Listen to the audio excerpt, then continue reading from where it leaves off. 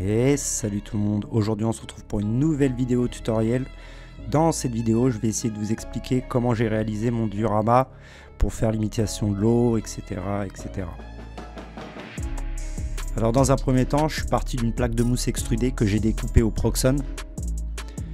Et donc j'ai tracé mon avion à peu près euh, au milieu et une fois que j'ai fait le contour, j'ai utilisé donc cutter, euh, lame de scie, etc. pour pouvoir euh, commencer à l'encastrer euh, et l'ajuster le mieux possible.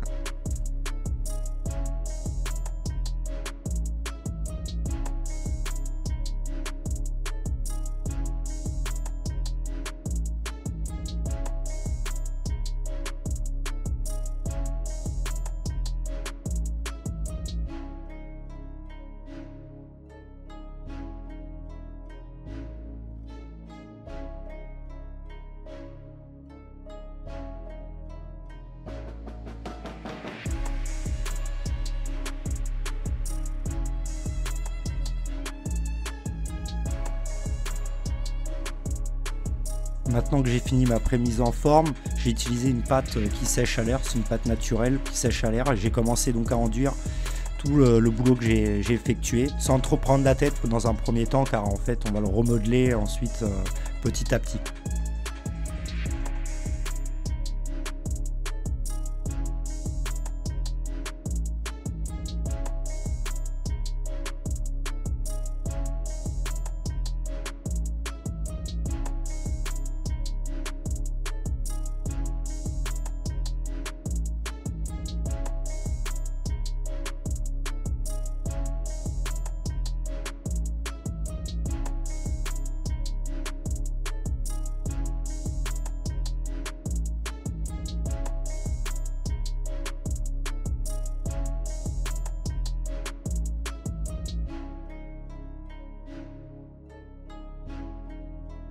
Maintenant que j'ai terminé plus ou moins à modeler, je viens commencer à placer mon avion que j'ai protégé avec du papier xélophane. Comme ça, euh, je vais pouvoir l'ajuster euh, encore plus près euh, autour des ailes, le fuselage, etc. pour, pour avoir le, le moins de trous possible.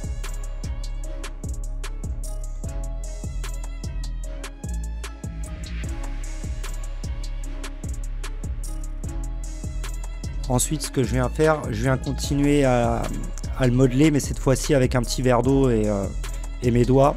Je viens commencer à former, euh, former les vagues, euh, etc. Donc modeler un peu plus, mais le fait que ça soit mouillé, voilà, on a un effet déjà un peu plus lisse et donc plus propre.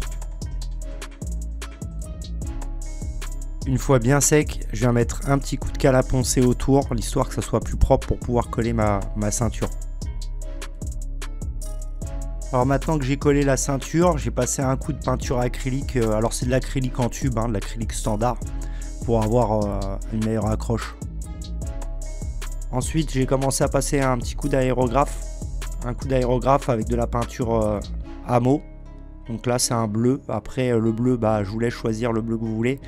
Moi, je vais faire un, un filtre par-dessus avec un bleu très foncé pour pouvoir varier un peu les nuances de couleurs.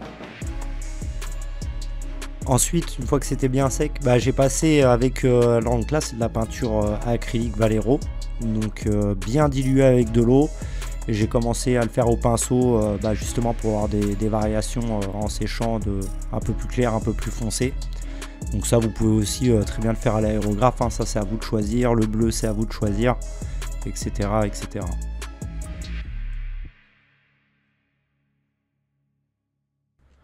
Ensuite, on va passer un dernier coup d'aérographe. Donc là, le but, c'est de trouver une couleur un peu plus turquoise. Donc j'ai joué avec euh, un bleu, euh, un bleu euh, très très pâle, très clair, du blanc et un peu de jaune et du diluant de chez Amo. Donc là, c'est pareil, hein, j'ai corrigé après en ajoutant plus ou moins du blanc, du jaune, pour essayer d'avoir une couleur un peu, un petit peu plus turquoise.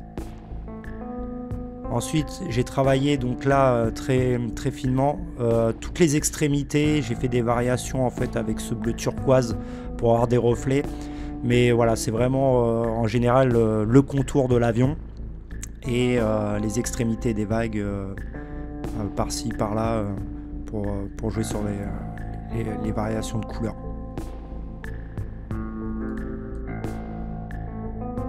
Une fois que j'ai terminé mon travail à l'aérographe, j'ai passé euh, une belle couche de vernis brillant. Une fois que mon vernis brillant est bien sec, donc là c'est une étape qui est très longue avec du blanc et un pinceau euh, très très fin, donc c'est un blanc euh, voilà acrylique. Je viens m'amuser à faire les petites ondulations autour, de, de l'avion. Donc plus c'est proche, plus c'est serré, plus je m'écarte, plus je fais des ondulations un peu plus larges Enfin, ça, c'est à vous de, choisir. Donc, j'ai fait ça euh, sur les extrémités des vagues et, comme je vous disais, donc euh, là où ça pourrait euh, sonner, sonner le mieux. Donc là, je viens replacer mon avion. C'est l'histoire de jeter un œil si tout est OK. Et on va commencer donc avec du water texture de chez Valero. Donc ça, ça devient très très transparent. Et en fait, je vais en mettre donc sur toute la maquette donc euh, j'en mets une belle, une belle couche parce que sur le pinceau ça tient pas très bien. Donc je prends un petit bout de bois et ensuite là je viens euh, appliquer avec le pinceau, donc l'étaler euh, partout. Donc là c'est opaque, c'est parce qu'on vient de l'appliquer mais en séchant ça devient transparent. Donc le but c'est en fait c'est de donner tout simplement du relief sur les parties qui sont, bah voilà, qui sont trop lisses après le vernis etc. Ça va donner encore plus de relief. Donc voilà avec le pinceau je viens m'amuser à faire du chipping partout en laissant euh, plus ou moins des, épaisseurs euh, différentes. Donc voilà, une fois que ça a bien séché, donc en fait ça, voilà, ça donne un, relief, euh, un peu plus de relief encore, donc c'est toujours un plus.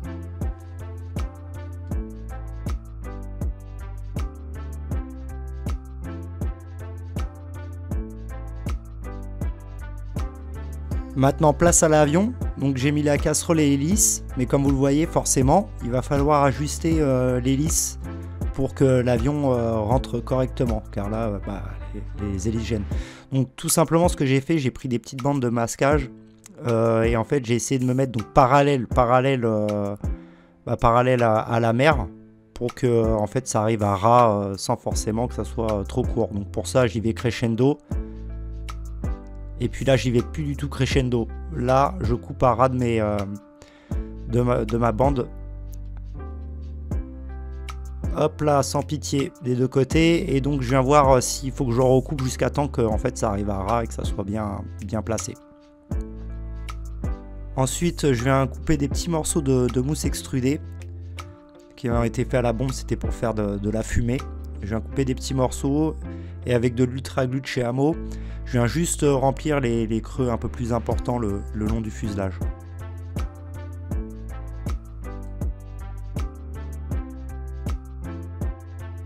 Ensuite, pour avoir encore un peu plus de mouvement et de relief, euh, j'ai décidé d'appliquer de l'extra Heavy Gel de chez Valero. Donc là, je suis venu travailler donc, tout autour de la maquette, aux extrémités des vagues, et m'amuser avec euh, un cure-dent euh, et d'autres outils pour pour faire euh, les traînées d'eau, etc., etc.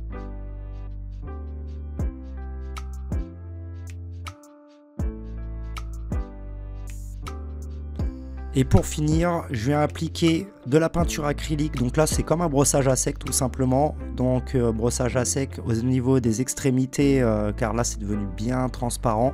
Et pour donner un maximum de relief, je viens travailler, faire un petit brossage par-ci par-là, au niveau des extrémités, des gouttes d'eau, etc., etc.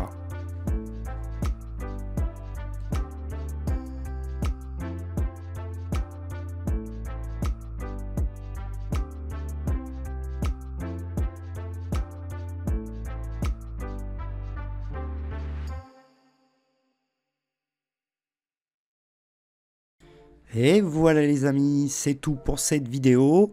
J'espère que ça vous aura plu, que ça va peut-être vous aider. Donc je tiens à préciser bien entendu, c'est une méthode parmi euh, des dizaines de méthodes euh, différentes. Donc euh, c'est un petit tuto explicatif. Après c'est à vous de la mettre en valeur, c'est à vous euh, de faire comme vous le sentez, le choix des couleurs, etc., etc. En tout cas, encore merci d'avoir vu cette vidéo. N'hésitez pas à vous abonner si vous n'êtes pas abonné. Et puis bah, si vous avez des questions et des petits commentaires qui font toujours plaisir, n'hésitez pas à les mettre et je tâcherai d'y répondre. Salut à tous les gars, ciao ciao